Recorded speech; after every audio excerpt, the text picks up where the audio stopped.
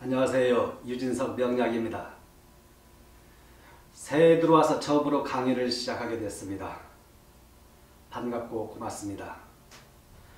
오늘은 제가 사주에서 가장 중요한 시, 왜 시가 중요한 건가에 대해서 한번 이야기를 해보고자 합니다. 왜 시가 중요한가? 그전에도 제가 여러 번 시의 중요성을 이야기했습니다. 오늘은 좀 더 구체적으로 한번 시에 대해서 이야기해 보도록 하겠습니다. 연, 월, 일시 사주가 있습니다. 예를 들면 하나를 제가 한번 적어 보겠습니다. 자, 갑진생이 있습니다. 갑진생. 자, 임신이다. 임신. 만약에 예를 들면 갑, 갑진이다. 또다시 이렇게 두고 시가 갑이니까 병인시다. 이렇게 그냥 한번 제가 적어 보도록 하겠습니다. 갑진, 임신, 갑진, 병인. 태어난 시가 인시다는 것이죠. 병인시. 왜 얘가 중요한가? 태어난 시가 왜 중요한가? 시는 이 사주에서의 직장을 볼 수가 있습니다. 이게 직장 자리입니다. 직장 자리. 가게를 하는 사람들은 사업장입니다. 사업장 오픈할 때 전부 다 C에서 다 유추해서 답변해주면 거의 대부분이 정확합니다. 직장을 상징해주고 그 다음에 학교 갈 때 한국 자리겠죠. 자녀를 상징해줍니다. 이게 자녀 자리입니다. 자녀 자리. 할아버지 할머니 자리, 부모 자리, 아내, 배우자 자리, 자식 자리 이렇게 볼 수 있습니다. 그리고 중요한 것은 여기에서 이 관계를 볼 수 있다는 거죠. 이것은 뭐냐? 배우자, 배우자 운이 어떻냐 이걸 볼 수 있죠. 배우자 운이 궁합을 보겠죠. 배우자. 배우자와 관계가 어떻냐? 시하고 상충이 있느냐? 아하, 상충이 있다는 것은 배우자가 결혼하고 난 이후에 이런 사주들이 좀 힘들고 여러 우여곡절을 겪겠구나 하니까 시가 굉장히 중요하죠. 자, 그 다음에 시는 연월 일시 맨 마지막입니다. 중년 노후의 삶을 알 수가 있다. 중년 그러니까 중년과 말년을 보겠죠. 중년 이 시기에 내가 좀 잘 먹고 잘 사느냐 큰 어려움이 없느냐 이 관계를 볼 수가 있습니다. 그 굉장히 중요합니다. 중요하면서도 매우 중요하다 저는 설명할 수가 있습니다. 그런데 이뿐만이 아니라 더 기가 막힌 중요한 점은 뭐냐? 조우를 해준다는 거죠. 조후. 태어난 달이 춥다, 습하다, 아니면 냉하다. 이 관계를 C에서 잡아줄 수가 있습니다. 한겨울에 태어났는데 시간이 태어난 시간이 한밤중이냐 아니면 한낮이냐 따라서 일간이 굉장히 달라집니다. 그러니까 조후작용을 해준다는 거예요. 조후.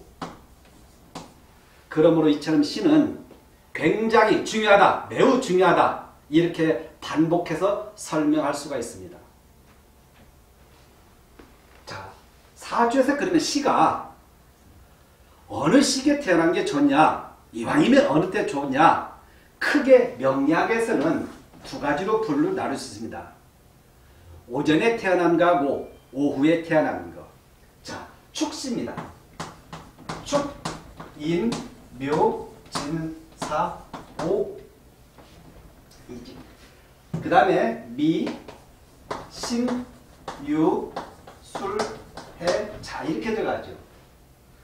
축시, 인시, 묘시, 진시, 사시, 오시. 미, 신, 유, 술, 해, 자. 그러니까 얘는 오후고 얘는 오전이라는 거죠. 그러면 남자와 여자가 구별이 되더라. 남녀. 남자는 되도록이면 이 오전에 태어나면 좋고 여자는 오후에 태어나는 것이 좋다. 왜 그러냐? 오전은 사람들이 일어납니다. 기상을 해요. 그리고 밖에서 그 좋은 밤새 수면을 취하고 밖에 나가서 일을 할 수 있는 에너지 기운이 있습니다. 이 말은 적극성이 있고 기운이 있다는 걸 이야기해줘요. 사주명량이 2000년 전에 이게 만들어진 겁니다. 그런데 이 중에서도 축시가 있고 인시가 있고 묘시, 진시, 사수, 오시, 미시가 있는데 사가 하나가 딱 사시가 있습니다. 진사. 사시는 요즘 태어나들은 오전 9시 30분에서 11시 30분을 이야기합니다. 자, 그러면 우리가 사시에 보통 사람들이 어떠냐? 다 회사를 가든 어디를 가든 농부는 밭에 논밭으로 가고 회사를 다니는 사람 직장이든 회사에 가서 근무하는 시간이고 가장 왕성하게 일할 수 있는 시간입니다. 그러므로 사시에 태어난 사람들은 남녀 공이 굉장히 부지런하다. 부지런하다 제가 얘기했습니다. 두 번째 사시에 태어난 사람들은 한 집안의 중심 역할을 해야 할 수 있는 상황으로 간다 이걸 이야기해 줍니다. 그러니까 사실은 부지런하고 한 집안 자기 스스로가 일궈야 하기 때문에 이 사시에 태어난 사람들은 뭐냐 어떤 환경에서도 자기가 스스로 결국은 총대를 메고 가거나 아니면 중심으로 가져한다 이야기합니다. 그러므로 남자는 사시에 태어난 사람들 보편적으로 자기 가정을 이끌어 나가는데 아무 장애가 보편적으로 없습니다. 시 하나만 갖고 설명한다면 사시에 태어난 사람은 기본적으로 먹고 들어간다. 그러니까 저는 직장에서 사람을 뽑을 때 사시에 태어난 사람은 기본적으로 저는 뽑아도 괜찮다. 사주 아무것도 모른다. 시가 사시에 태어난 사람은 부지런하고 약속을 잘 지킬 수 있는 힘이 있고 그리고 어떤 환경에서라도 헤쳐나갈 수 있는 기운을 갖고 있기 때문에 저는 사시를 뽑아라 이렇게 권유합니다. 반면에 사시의 반대는 신시입니다. 신시. 신시는 오후 3시 30분에서 5시 30분입니다. 이때는 새참을 먹습니다. 좀 한가해요. 조금만 일하면 이제 일, 하루 일과 끝납니다. 좀 느슨해요. 그래서 얘와 반대로 신씨는 조금 느긋합니다. 조금 이제 곧 놀 생각을 해요. 그래서 이 사시는 바쁘고 뭔가 열심히 하는 반면에 이 신씨는 조금 놀러 다닐 생각을 많이 합니다. 그러므로 여행수가 많다. 좀 한가하게 놀려고 하는 그런 특성이 있다. 그러니까 여기에서 남자는 사시에 태어나고 여성은 신시에 태어나는 게 좋다 이겁니다. 오전은 공격형, 오후는 방어, 좀 안정형으로 가려고 한다는 거죠. 자, 그 다음에 이 중에서도 축시는 너무 어둡습니다. 인시가 있습니다. 인시는 뭐냐? 절에서 스님들이 원래 3시에 기상합니다. 3시는 해가 뜨는 시간입니다. 그래서 기침, 기상하는 시간이에요. 인시에 태어난 사람은 보편적으로 정신이 맑다고 합니다. 그러므로 종교가 학자들이 인시에 좀 많이 있습니다. 문선명 씨도 아마 인시라고 이야기를 알고 있습니다. 그러니까 종교가에서 좀 크게 선고하는 사람들이 인시가 좀 많이 있습니다. 인시는 기상시간입니다. 뭔가 부지런하게 할 수 있는 힘을 갖고 있다. 그래도 이때는 사시만큼 공격적으로 하는 것은 좀 약하다. 그러나 인실을 갖고 태어난 사람들은 결국은 뭐냐면 노후의 삶 자체는 기본적으로 복구한다. 반면에 인시의 반대는 해시입니다. 해시. 해시는 오후 9시 30분에서 11시 30분. 이제는 좀 하루 일과를 마치고 편안하게 딱 잠잘 시간입니다. 기차, 기상할 시간이고 얘는 잠잘 시간으로 접, 접어들고 얘는 가장 정신 멀다고 얘는 좀 한가하게 새참 먹고 이제는 하루 일과를 마치려고 하고 있다는 거죠. 여기에 포인트가 하나 있더라. 해시는 안전형으로 가더라. 편안하게 가려고 하더라. 그러니까 오전은 보편적으로 공격적이고 오후는 안정형이니까 여성들은 되도록이면 오후에 태어나는 게 좋다. 남자들은 오전에 태어나는 게 좋다. 오전에 태어난 사람들이 보편적으로 한 집안을 이끌어 나갈 수 있는 있다. 근데 반대로 여성이 사시에 태어났다면 어떤 일이냐? 결국은 뭐냐면 자기가 스스로 돈을 벌여야 할 상황으로 간다. 남편이 있어도 스스로 일궈 가야 한다는 것은 남편이 무능력하거나 아니면 부부가 서로가 찢어지거나 결별해서 스스로가 결국은 돈을 벌여야 할수 있는 상황으로 간다는 걸 이야기해 주겠죠.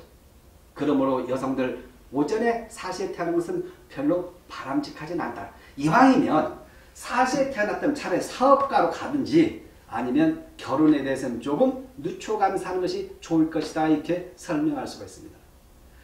그래서 남자들과 여성들 요즘은 이제 여성들이 워낙 사업가들이 많이 있기 때문에 좀 그런 면에서는 참고할 수 있지만 그러나 가정 우리의 관계에서 관계된 것만큼은 이것이 아직도 2000년 전 이야기지만 그대로 적용이 되고 있다는 걸 이야기할 수가 있습니다.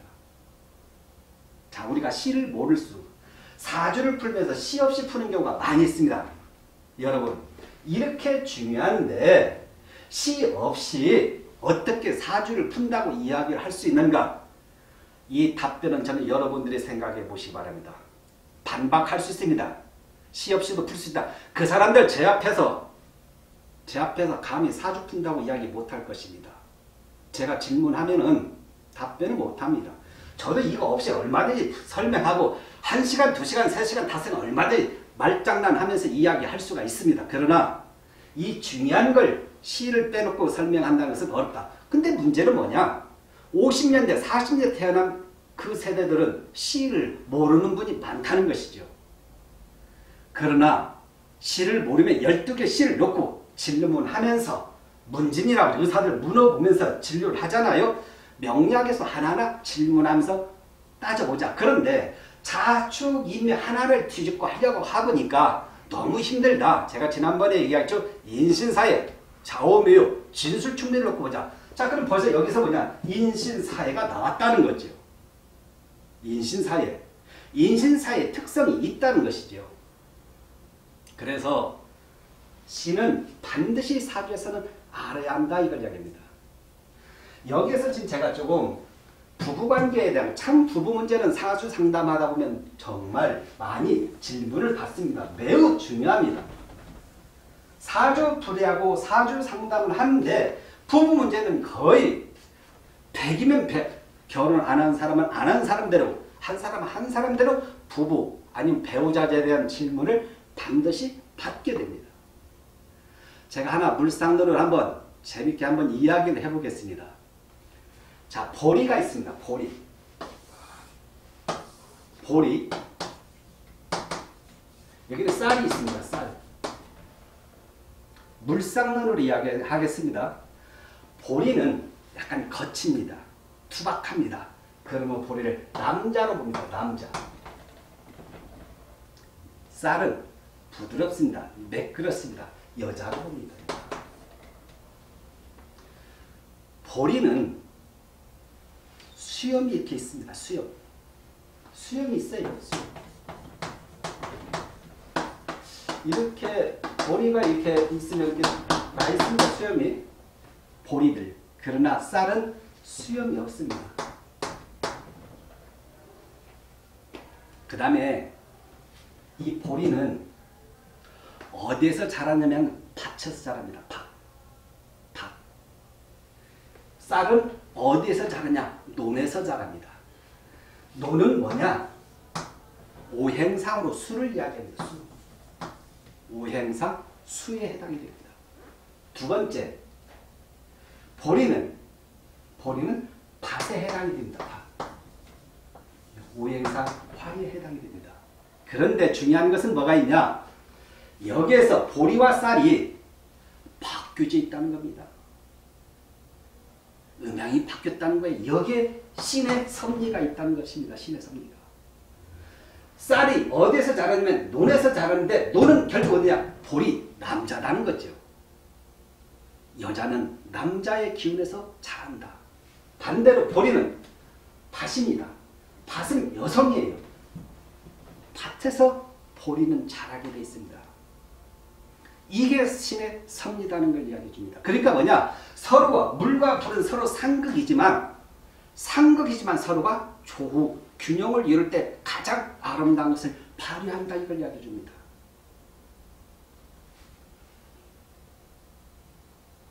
자 여기에서 수화가 나옵니다. 수화. 얘들 잘하는 거 한번 보실래요? 이 보리는 보리는 그대로 그냥 심어 놓으면 밭에 심어 놓으면 자랍니다. 그런데 벼는 옮겨 심어야 합니다. 벼는 이렇게 못자라서 처음에 이렇게 심다가 일정하게 자라면은 다시 한번 옮겨 심어야 자랍니다. 근데 여기에 또 다시 어떤 신의 섭리가 있다. 뭐냐? 음양의 섭리가 있다. 여자들은, 여성들은, 딸들은 결혼하게 된다면 되도록이면 밖으로 나가서 살게 해주는 게 좋다. 자, 요즘 우리나라에 돈이 많은 사람들이 있습니다. 그리고 사위가 아들이 없다 해서 야 우리 집으로 와서 너 살아라 사위에게 이렇게 이야기하는 경우가 많습니다. 그리고 딸들이 자기 집 어머니와 함께 살면서 자기 신랑도 자기 집에서 함께 사는 집이 많이 있습니다. 그게 바로 여기서 말하는 옮겨 심어야 한다. 옮겨 심지 않, 옮겨 심는다는 것은 바로 이사를 보내서 자기들끼리 살게 해줘야지 결코 돈이 많이 있다고 해서 사위를 내 집으로 끌어당겨서 함께 살게 하거나 내 딸을 내와 함께 사위와 함께 하려고 하는 것은 그것은 옮겨 심기를 거부했다는 것이죠. 옮겨 심기를 거부했다는 것은 별을 별을 그대로 못자리판에 놓고 그대로 놓아뒀다는 것이죠. 그래서 성장을 이룰 수가 없다. 잡음이 일어난다. 왜? 못자리에서 떼가지고 다시 심어야 분명히 튼튼한 벼 이삭을 만들어낼 수 있기 때문에 그렇습니다. 그런데 보리는 괜찮습니다. 보리는 보통 가을에 심습니다. 가을에 심으면서 싹이 이 정도 올라오면 발로 밟아줍니다. 왜 밟아주냐면 싹이 올라오는데 밟아주는 것은 겨울 사이에 땅이 이렇게 뜨게 됩니다. 뜨면 보리가 죽어요. 그러니까 밟아줍니다. 보리는 좀 밟아도 괜찮아요. 근데 벼는 밟으면 다 죽습니다. 그러니까 여기서 뭐냐 남자들이 아내를 들어와서 함께 살 수 있는 것은 가능하나 여자들이 자기 집에서 친정집에서 자기 신랑을 데리고 함께 사는 것은 불란이라 성장이 못 된다는 것을 명리에서는 설명해 주는 것입니다. 또 하나 특성이 있습니다. 벼하고 벼하고 보리는 어릴 적에는 다 꼿꼿해요. 꼿꼿해. 그런데 자라면서 벼는 고개를 숙입니다. 여자는 고개를 숙여요. 남자는 끝까지 가요. 가는 것은 뭐냐? 반드시 칩니다. 강하고 쉬지 않는 것은 친다는 것이죠. 그러니까 여기서 남자의 수명이 나올 수 있다는 것이죠. 결국은 뭐냐? 이기는 게 지는 것이다. 여성이 더 현명하다 여기서 보여주는 것이죠. 어디에서? 물상론에서 보는 쌀과 보리에서 설명하는 것입니다. 또 이런 것도 제가 그냥 이야기를 해볼 수가 있습니다. 보리하고 쌀하고 똑같이 5대5로 놓았다. 5대5. 보리쌀을 갖고 보리와 쌀을 5대5로 놓고 만약 밥을 한번 해보십시오. 그러면 색깔이 어떤 색깔이 나올 것 같습니까? 어떤 색깔일까요? 보편적으로 5대5로 놓으면 새카합니다. 새카매요. 보리 남자로서는 억울하죠. 왜? 같이 똑같이 5대5인데 왜 새카매냐는 거예요. 이것을 부부가 서로 싸우게 될 때 자식들이 바라볼 때 5대5로 잘못되어 있을 때 똑같이 봤을 때 뭐냐 자식들 눈에는 아버지가 무조건 잘못됐다 본다는 것입니다. 왜 새카맣게 보여요? 보리는 투박하고 강해 보이거든요. 그러니까 아이들은 무조건 엄마 편을 들 수밖에 없는 것입니다. 아버지는 화가 나겠죠. 왜 니들 편만 되냐고. 자, 이것이 이치라는 것이죠. 그러니까 이런 걸 알고 남자들은 숙일 줄 알아줘야 한다.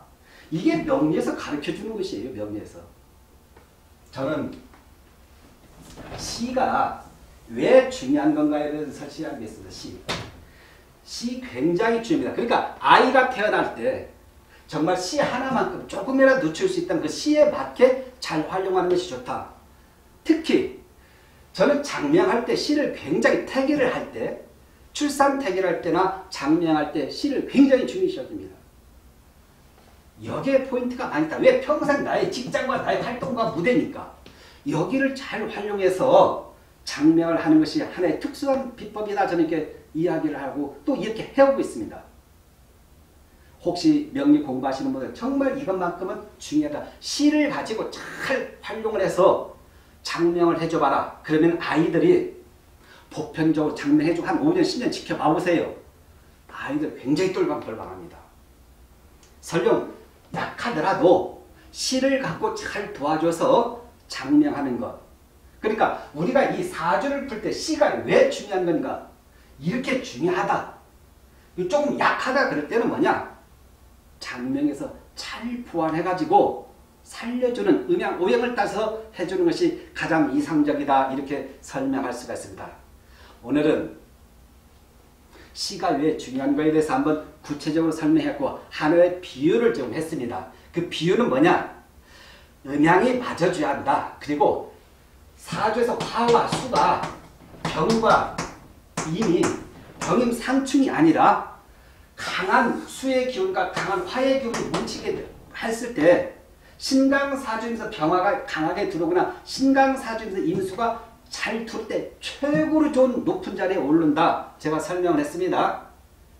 그래서 잘 이걸 참고해봐라.